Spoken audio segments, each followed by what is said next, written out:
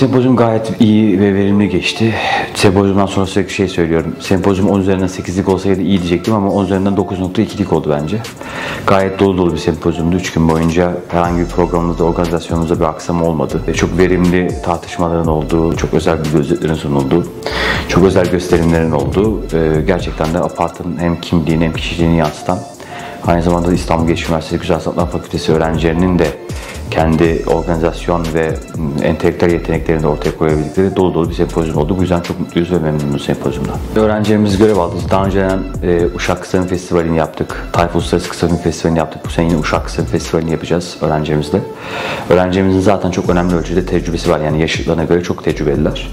Bunun yanında sempozyumla ilgili bir sempozyum tecrübeleri yoktu. Ama e, güzel, yani çok da yoğun olmayan bir eğitim süreci sonrasında öğrencimiz buna çok kolay bir şekilde adapte oldular. Bence çok çok iyiydiler. Zaten birçok birçok insan hani şehir dışından gelen, başka üniversitelerden gelen pek çok insan öğrencilerimizin bu konudaki yetkinliğini takdir etti, fark etti, takdir etti. Bu anlamda çok iyiler. E, gerçek anlam, gerçek olarak bir sorumluluk değil. Sanki 40 yıldır sempozyum yapıyor gibiler. E, hem okullarını hem Apar Sanat Derneği'ni çok iyi temsil ettiler.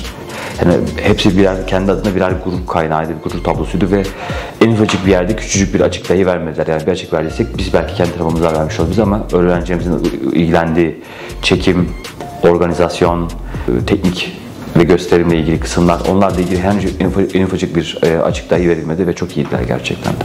Bir şey yapmak istediğimde disiplinlemekten daha ziyade akışına bırakıyorum ve etrafımda en azından şöyle bir şey yapıyorum. Belki de etrafımdaki insanları düzgün seçmeye çalışıyorum. Düzgün seçeceğim, beraber çalışacağım insanları e, kafamda çok iyi ayıklamaya gayret ediyorum.